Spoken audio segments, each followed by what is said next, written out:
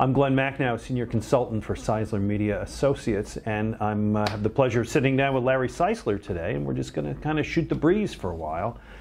One of the things that I think is interesting um, is neither you nor I started in Philadelphia. Uh, we're born here, raised here, or started our careers here, but we both adopted the city.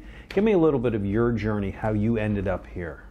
Well, it's you know it's very simple. You know, I grew up I grew up in Pittsburgh, outside Pittsburgh, in a small town, and I went to Washington D.C. for college, and then I went back to Pittsburgh um, for law school. But then somehow, and it's a longer story, it, I ended up working in television mm-hmm. at a KDK TV while I was legendary go- station while I was going to law school. While I was going to law school at night, and um, it was owned by Westinghouse Broadcasting Company, mm-hmm. and they decided to get into the cable business and CNN had just started, and they started a competitor to CNN. People don't know this. It was called Satellite News Channel. I remember that. And they had yeah. these different like hubs, mm-hmm. and Philadelphia was one of the hubs. And what they moved, what they decided to do was to move like some of their like low cost but good people into Satellite News Channel. So they offered me the chance to come to Philadelphia, and so we worked out of we worked out of KYW mm-hmm. TV you know, when it was down on Independence Mall. And, uh, and then I finished law school at Penn, so I, I, tra- I transferred law schools. So I really came here, I thought, as part of like a television career, and I thought I was going to be here for like a year or two and then gone. I um, grew up in Buffalo, New York, outside of Buffalo, like you grew up outside of Pittsburgh. By the way, pretty much the same town, except you guys had Major League Baseball, and we did not. And a better football team. Okay. when I was young, the Bills were actually good, but that was a long time ago. Um, and so I went to college in Boston, and then I was going into communications, into newspapers. So I did that newspaper vagabond move your way up, right? I started out in small town Florida, then I went to Fort Lauderdale, and then I went to Detroit, and then I got the chance to work for the Inquirer and hoped at the time that Philadelphia would be the last professional stop. I don't know if you when you came here, did you no, have you, no. did, had no sense you no, were going to? No, I had like four cities that I thought I would want to live in, mm-hmm. um, and Philadelphia was not one of them. Is that right? See, I was delighted to come here. My my cities were San Francisco, Chicago, Washington D.C., and Pittsburgh. Those were those were my four cities. Having gone to school in Boston uh, and lived in the Midwest, lived in the South. I always wanted to get back to the East Coast. I thought it was, I thought this was really kind of the hub of it. And when I came here, I came to work for the Inquirer. So this is in the late 1980s when the Inquirer's winning the string of Pulitzer prizes mm-hmm. and just was, you know, the uh, from my way of thinking at the time, the best newspaper in the United States, and it was it was coming here was all of that. So you came here went to work in an ill-fated cable news operation. Right. Then, when that fell apart, just worked at KYW. So, when that started, because I remember when CNN started, uh-huh. right, and we were all really young in the business. I was on the newspaper end, but we were really intrigued. Did you think at the time that CNN was going to work? I guess you must have, because you took a job in a in a place like that. Well, you know, I was young, so I think that people thought that cable had a future, and we actually had people from our newsroom at KDK get recruited to to CNN. So you know, people thought you know it could be something. I mean, it's like it's like anything else.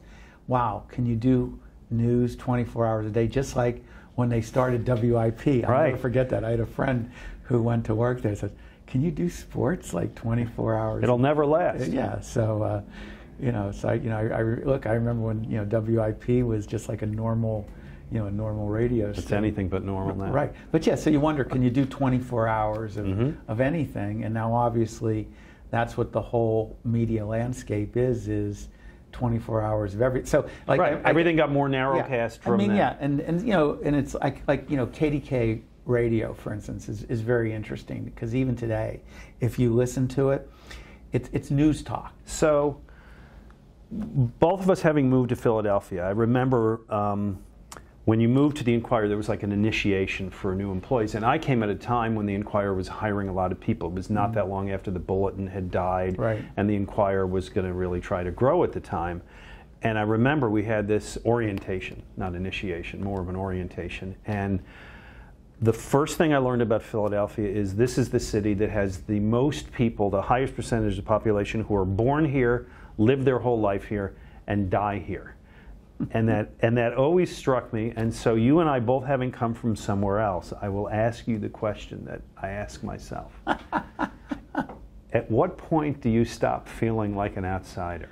Never. No, really? Never, never. I just think that, uh, and I don't know if that's you know me, just because of my like Western Pennsylvania roots, and just the Let's be honest, and- still a Steelers fan. and, right, you know, and the natural friction between the eastern part of the state, Mhm. you know, and the and the western part of the state.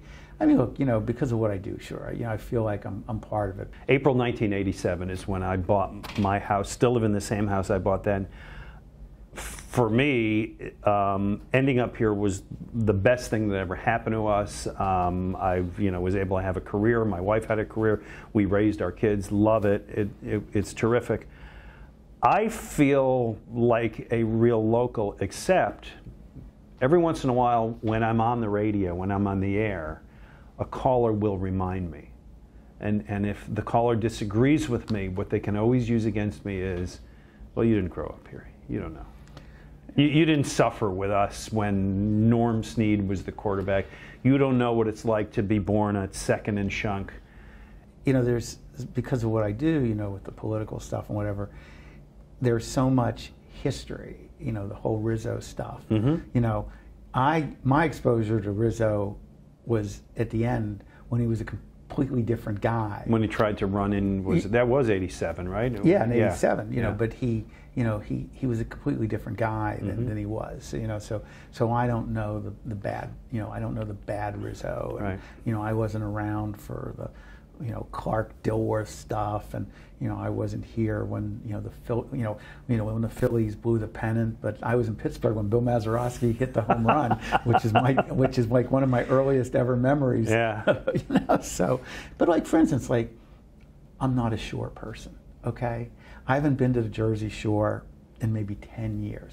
Why? I didn't grow up that way. You Yeah, know, we okay. didn't you know, we didn't grow up going to the to the Jersey Shore Right. or the you know or the beach or, or whatever. So it's like no loss for me that um, you know we don't have a home or we don't go to the you know Ventnor or Margate or Stone Harbor or whatever on the weekends. You know, There are those certain things I think that are just very specific to Philadelphia that if you aren't, because you could have become a Jersey Shore person, I could have as well. I married a woman from Cape Cod, so Right. that's where we go.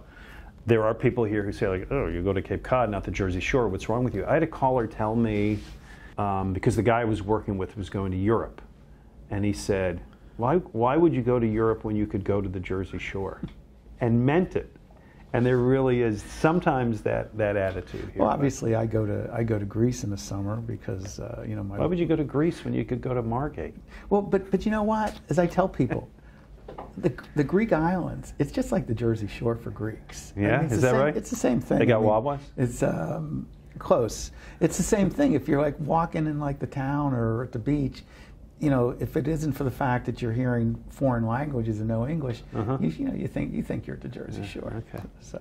So um, you run a firm that uh, deals with many, many uh, issues and, and uh, all kinds of industries, but you've always had your foot in politics. How did you How did you get started in that regard? Well, number one, it's it's the way I grew up in Washington County. My, my father was a lawyer, but but he was very he was very involved in in politics, local politics, and you know I had a you know political you know political background in college and and whatever. But I got into it here because actually I was a producer at, at KYW, and then I I knew that I wasn't going to stay in TV, and um, I was recruited to work for uh, Wilson Goode's reelection in 1987, which How did a- that connection come about? well, that uh, well, the connection came about you know very easily. Um, there's a, a lawyer here by the name of Ken Jarin, Mhm. who's a very very prominent um, attorney, and he was he was close to Wilson Goode, and they knew that they might have to do the campaign in a different way, and Ken was very close to the assistant news director KYW TV. Uh, a fellow by the name of Steph Rosenfeld, Mhm. and Steph is still uh, around today, you know, doing public relations and communications. And um, it was Steph's suggestion to Ken that you know I might be you know I might be a good person uh, for that. So you know it seemed like that would be fun, and and, and it was, and, and it was really you know working for Wilson Goode and that campaign has been really the whole foundation for for my career. Got you started doing that. Yeah. So I think like you, I grew up. My dad was not involved in politics in any way, but he was a news junkie, and so I'm growing up in the 1960s when there are issues, you know, civil rights issues and Vietnam War issues and women's rights issues, and the news was huge back then. Mm-hmm. And every night at 6:30, my father would sit down and watch Walter Cronkite. Right. And every night at 6:30, my father would tell me to sit down and watch Walter Cronkite with him. And so, you know, I'm 10 years old and talking with my dad about these national issues, what's happening in Selma, Alabama, and, and all that. And so I always had that in me. Um, went to college, studied history, American history, and journalism, and kind of knew early on that the journalism was the direction I wanted to go. Um, started out as a political reporter. I mean, I got lucky, and it, the business was different then. Yeah. In that I got a job at 22 on a newspaper. By 23, I'm covering politics. At age 25, they, uh, I'm covering uh, Florida U- U.S. Senate races. I'm working in Florida, and they set me out to cover the, to the Reagan campaign for two weeks. Oh, wow. And so I'm doing this, and I'm not that impressed with the politicians, although a little bit. But to me, it was the giants of of the industry. Of you know, the guy Theodore White is out there on the campaign, and I had read his books and so on. And to me, that was the tonic. That was the Oh, thing. for the people who don't know that, it's the Making of the President series. yeah, those were big which books back in the day. Started in 1960, I believe. Right. With uh, John Kennedy. Yeah. Right, and those were landmark books, Yeah. and those were, you know, the the, uh, the people who uh. David Broder was one of the guys I who. I met. by the way, I knew him. You knew David I'm friendly Broder? with- I'm friendly with his son. Really? So we became we became friendly in Washington D.C. We actually worked on a campaign. We're, we're still friendly that day. So I knew Dave. We called him Dave. I knew Dave. I knew, called him Mr. Broder. I knew Dave very well. I Okay. knew Dave very so for well. people who don't know, he was one of the leading national political the dean, columnists. the yeah, dean at the he Washington was. Post, And he was nice enough one day on a bus ride from Tampa to Clearwater, I believe, uh, covering the Reagan campaign. I sat down next to him and he talked to me for an hour, and you know it was it was illuminating for me. No, he's a very nice man. Um, so so I, I did that for a long time and loved doing that for a long time and still love politics. Don't really do it, but love it. You did you ever in your life think of running for office? I did run for office. I did in 1992. Tell me more. It was a great experience. I, I ran for uh, state rep uh, against an incumbent, and um, luckily I lost. Thank God I lost. Which I tell everybody: if you've ever had an inkling to run for something, you should do it because if you don't, you always regret it, and then you have to hope that you lose. So- So you've uh, you you had quite a path to get here with with a lot of jobs, different careers. Deciding not to run for office, you now have a firm that employs uh, 30, 26, 20, 27, 26, 27 people, uh, three offices around the state. Mm-hmm. Um, uh, how do you stay connected in that realm? How do you? I don't know. I think you stay in touch with people. I mean, that's you know that's a big thing. I, you know, you you stay in touch. You know, you got to get out and you know things like that. You know, I'm probably not as good. You know, I'm not as good as I, I used to be. I mean, but I you know, I encourage everybody who works with us that hey, you know, you gotta you gotta be out there and you got to get to know people. I mean, I agree. I mean, the fact of the matter is, as as I get older, I mean, I'm actually watching this transition Mhm. as to, you know, who makes a difference in, in Philadelphia Mhm. and in the whole Commonwealth of, of Pennsylvania. And um, so, you know, I tell the people here, I said, you know what, I don't know this 28 year old state rep. Right. You know, I don't know this young reporter at the Inquirer. You have, you know, Yep. you you know, you have you have to do it. So, um, but you know, I, I think you know, it's it's always about you know maintaining your you know your credibility. Here's what you said that I that I absolutely agree with, which is you have to be seen and you have to be out there. Yeah. And I have the pleasure of working with some of your younger associates, right, in somewhat of a mentoring role. And one of the things I tell them is, get off your phone. Don't just text people. Be out there, see them, take them to lunch, You know, go meet people, yeah. go see people, go be known, so that if you um, if you know the reporters at the Inquirer and there's a story that you want to get out there, you will have had an experience with that person over a couple of cups of coffee that you can have a conversation that's beyond. Yeah. Hey, would you want to run my story? Yeah, you know, it's very interesting, and there's no guarantee of anything, but um, Ninety percent of life is showing up. That's right. right? That's- uh, I don't know if that was Yogi Berra or Woody Allen, but somebody said that.